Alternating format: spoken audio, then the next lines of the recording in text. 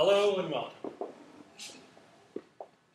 I first want to start by acknowledging the unceded territory of the Coast and Strait Salish peoples in which we are now gathered in this beautiful ceremonial hall at UVic. And I, I want to thank again Nick for welcoming us here and, uh, and just how important it is to me to recognize this tra- traditional territory.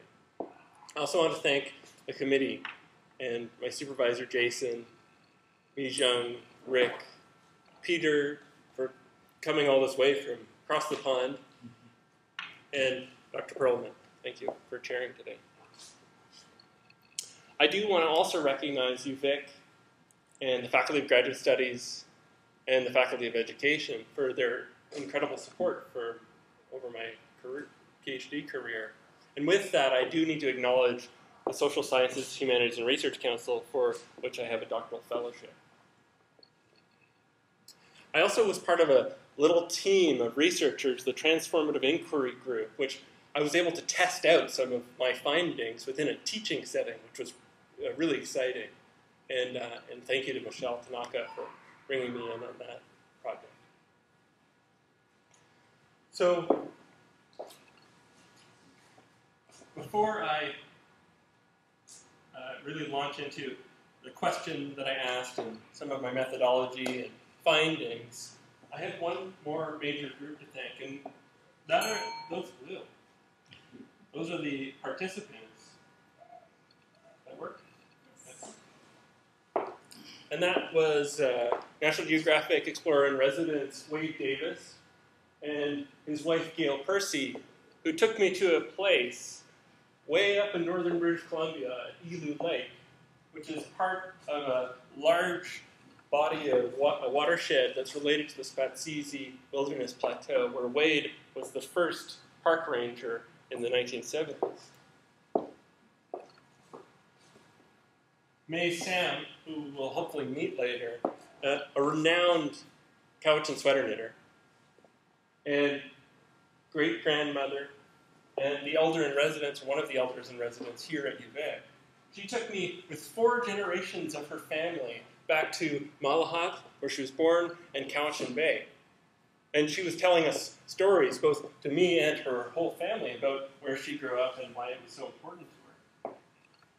Iona Campagnolo, the former Lieutenant Governor of British Columbia, politician, radio host, she took me back to the North Pacific Cannery on the Skeena Slough, to the Nass Valley and the Nisga'a Lisims government building, and also to Stewart, BC. And I would hope that we can all just send our healing vibes over to Iona because she just suffered a major uh, accident and broke her back. She's currently in GF Strong. So we can just send our healing vibes towards Iona. I think she would appreciate that. And she might even be watching right now on the live stream that's happening. So Claudia Lee, the co-founder of the Hua Foundation and Shark Truth Project, which is, aims to engage Asian Canadians in talking about civic and social issues around the Vancouver area. Claudia, Claudia took me to Burnaby, BC, to a little postage stamp property where, with her grandma, her apo, she was growing tomato plants at five years old. And then to the public participants who took the risk to go online and pin their place on a map and then write about it or share videos or stories. And I have over 50 participants on this collaborative map um, and the website transformativeplaces.com.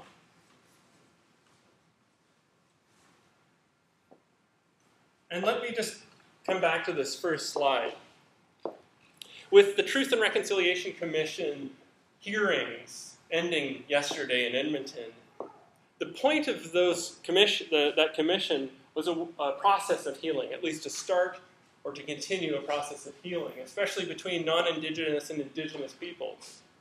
And I want to align myself as an ally of a process like that, or at least an ally of indigenous and First Nations peoples around the world. And that's probably why we're standing here in this space today, or at least I'm standing. My wife and Otis are also standing. Um, this space was built in, in, for an intentional reason to gather people through ceremonies or celebrations or sharing. And part of the findings of my research is that sharing stories with family and community can affect transformation. And so part of being here is an intention to try and do that. And that transformation that I hope to do with my research is, contact, is contextualized by what I think is this over calendarized, scheduled, obsessive space, consumerist uh, community that we now are unfortunately uh, trying to manage. And so, with that management, I think there comes a responsibility, not only to ourselves, but also to each other and to the earth around how we might live on earth, maybe a little better.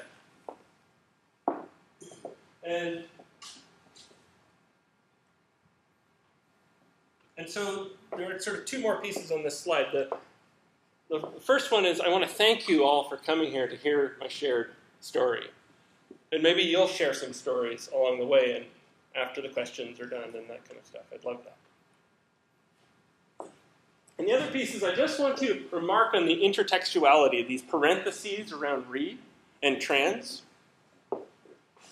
And the idea of re as a prefix is this is to acknowledge that we are never really displaced from nature. We're all on Earth, and we go flying around the sun. And even when we leave Earth, as Chris Hadfield has done, and many other astronauts, they require Earth systems to be out there.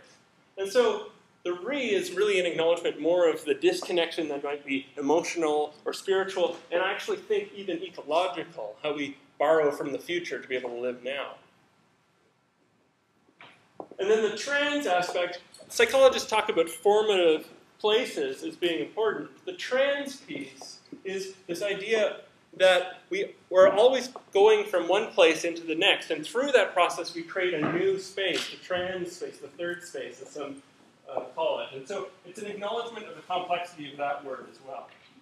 But, but as a way maybe to dive deeply into the concept of transformative places, I'm going to share with you a trailer that I use to recruit my public participants. So let's watch that. It's only a minute long.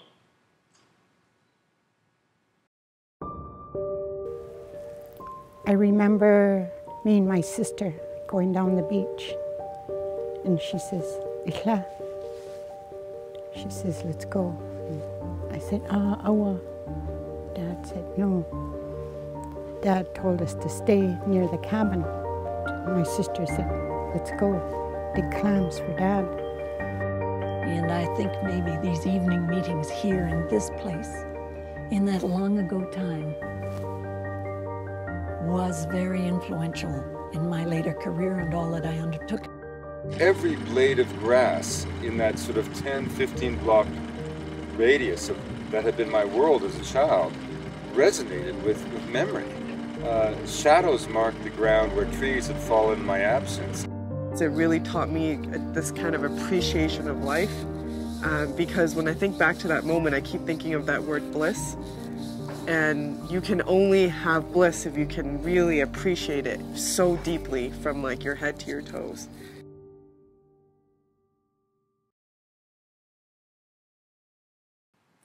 So I used this tag phrase, where would you go, to engage the public through the website transformativeplaces.com, and maybe as a way to engage you in all this concept. I'm going to ask you now to take the risk and be, and be guided through a visualization. So, if you could all, I'll invite you all to close your eyes. Now, emotions might show up here, and it's okay. If you need to take a break and go outside, uh, that would be totally fine. But pay attention to your breath for a moment with your eyes closed. And in your mind's eye, return to a transformative childhood or adolescent outdoor place. Now, the word transformative is intentionally neutral. You might have a positive experience, you might have had a positive experience or a negative experience, or more likely there are mixtures of positive and negative. And picture what is there. Are there plants, animals? What's the geography? Is it a rural or park setting, or is it a back alley, or even a tomato plant?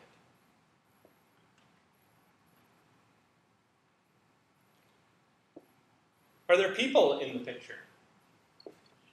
Are you in the picture, or are you taking the picture? And just stay with that space and think about how it makes you feel. Find a couple of words that might elicit your feelings. Like for me, for many of my transformative places, the word open comes, which elicits all sorts of feelings. So find a word or a phrase and apply it to that picture. And just before you open your eyes, I want you to consider what that place has taught you, or what, it might continue to be teaching you. And you can open your eyes.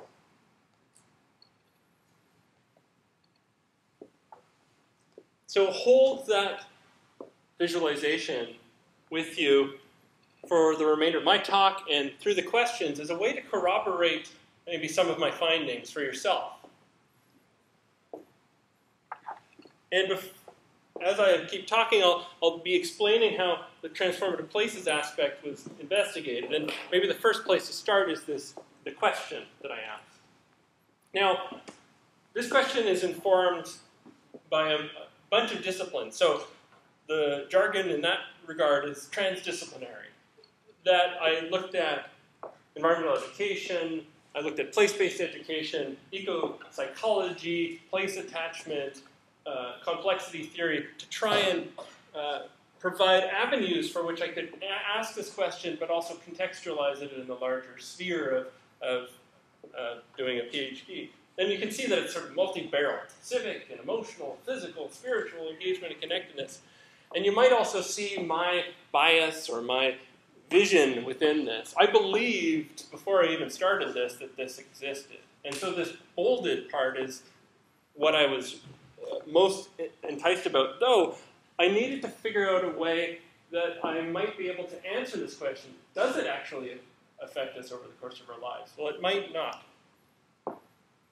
But I wanted to investigate this such that I might be able to provide language to describe how it does that. And so I used a qualitative approach, which means that you don't do lots and lots of interviews in the thousands. You do a few very deep interviews in the social sciences space if you're using interviews.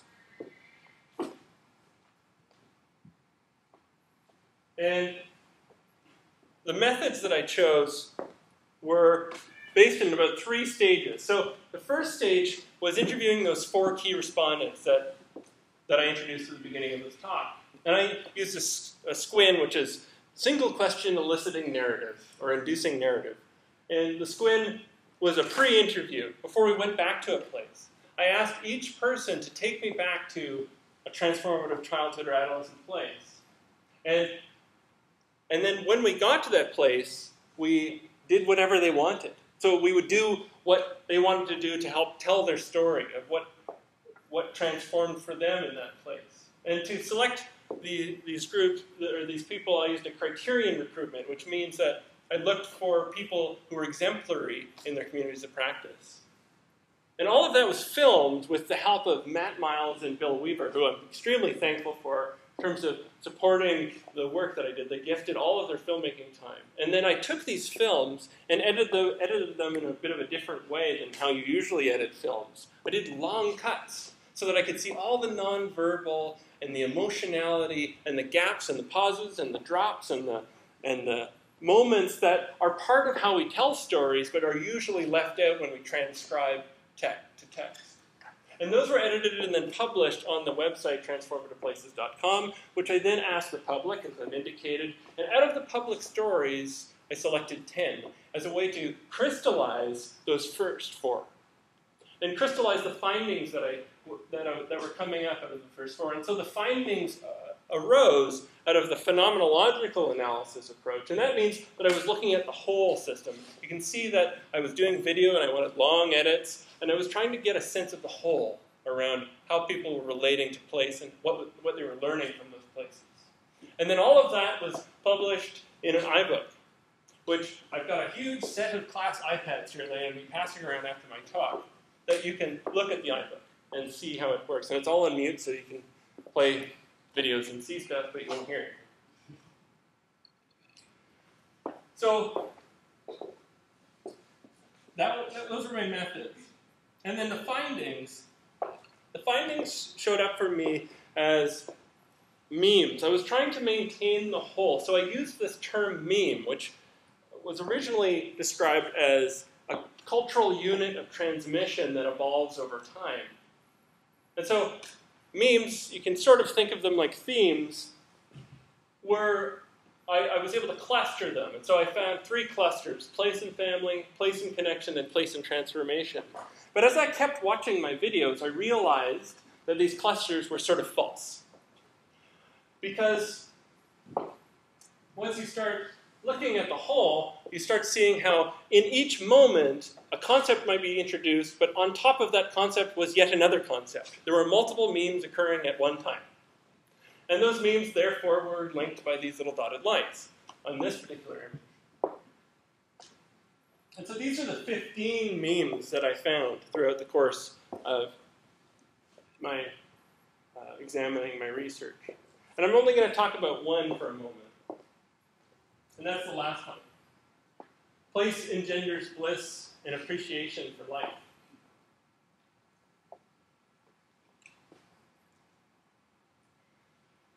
So this came up in each of my four key participants in different ways. It wasn't always labeled bliss or appreciation for life, but the key element to bliss was relatedness. And the relatedness with a sense of ease when they returned to these places, or thought about these places, or considered the learning that showed up from these places. And the appreciation for life was, was beyond just the self, the life of self, it was the life of family, and the life of community, and then also the life of the world. And the words that helped describe this were things like inspiration, celebration, love, joy, peace. And also embedded in bliss and appreciation for life was a sense of responsibility. This, this idea that we are responsible towards this understanding of bliss. So here's, I'm going to show you a little one and a half minute clip of Claudia talking about bliss. And then I have one more slide, and then I'll be done.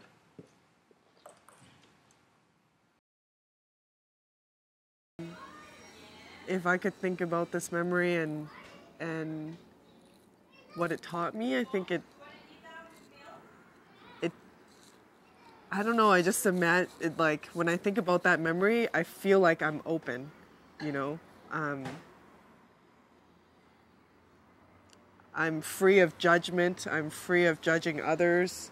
Uh, and I can just live as myself. And I think in that sense, it really taught me this kind of appreciation of life. Um, because when I think back to that moment, I keep thinking of that word bliss. And you can only have bliss if you can really appreciate it so deeply from like your head to your toes. Uh, and having that you know moment of solitude and connection with my grandma and that and they say out of all the senses that smell is one of the strongest and that memory that that was my first smell. Um, it's just this very intensely deep appreciation for life. Um, and you know and for me that appreciation for life is not only with people from family but with with the world around us and how strong a just a scent from a vine tomato can leave in my my mind and my heart. I think that that is what it reminded me of. And so just before this clip, Claudia had returned to this place from her past, from when she was five years old, and had another meme show up, and that was the misremembering of a place. And probably many of you have experienced this where you imagine a place being much larger than it is when you go back as an adult. And so she had gone back and she thought she was going to see mountains over the top of the, this fence behind her. And that the backyard was this magical garden that was sunny always, and that there would be uh, tomato plants there even. But we went back and there was a bunch of basketball hoops and some grass, and there was no garden, and there was definitely no mountains. And so, in that moment of being there, she was reorganizing her orientation to that memory.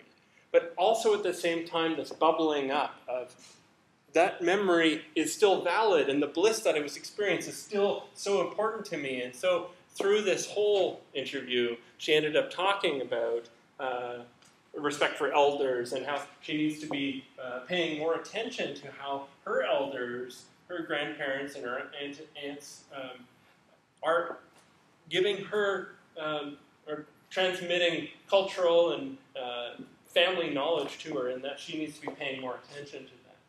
So that's part of the responsibility that she was seeing out of the bliss. So instead of writing a conclusion that was a synthesis of my uh, oh yeah, I forgot that Otis on that.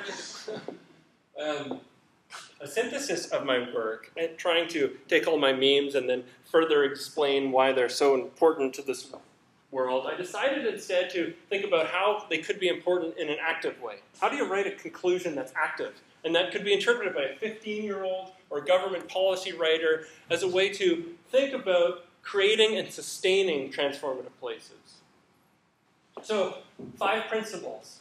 And I've got little cards that are somewhere around here that you can pick up and take away with the five principles. And I also have, I should say before I start those five principles, my findings, all those memes on these cards. And I'll hand those around as well with the iPad so you can sort of look a little deeper at all the memes. But the idea of the manifesto is to try and address this disconnection issue that I've been talking about, this disconnection with nature, whether it's emotional, spiritual, civic, uh, or environmental, ecological. This was a way that I felt that I could do this. And so these aren't out of nowhere. It's not like I wrote this conclusion without considering my memes, because all of that influenced, I called it an outgrowth in my c- conclusion rather than a synthesis. It came out of all of that, all of those findings. So the first is I think humans are essentially outdoor people or organisms. Going outside is an essential human act. And that doesn't just mean to leave the door. We need to go outside and we need to do it well, in my opinion. So just saying go outside I don't think is enough. We need to be present outside and to start breathing. And by taking that breath, we actually start to pay attention more to here and now instead of being distracted by all of the technology that I have brought today. but also by our scheduled lives. This idea that we're always thinking about the next meeting we're about to have. Sharing stories is where the responsibility starts to show up. So we need to share stories appropriately when it's appropriate to share stories that are that we can share with each other, and through that we might it might result in conservation. And it's not just the parks and protected areas conservation that I'm talking about; it's the cultural conservation, whether it's language retention or those family rituals that show up these types, types of conservation are critical, I think, to uh, supporting transformative places, or at least the creation or sustain of, sustaining of them. So then the fourth continues on that. It's the how we might share, and that we need to do that through compassion because our stories might be different with each other. But if we listen compassionately and we also speak compassionately, we might change the way that we are oriented as a human race or as a society towards being more compassionate on earth. And then the fifth one is to celebrate complexity. This is the ecological piece. We are so, I think, obsessed with simplicity and trying to maintain simplicity that we forget that there's beauty in the complex.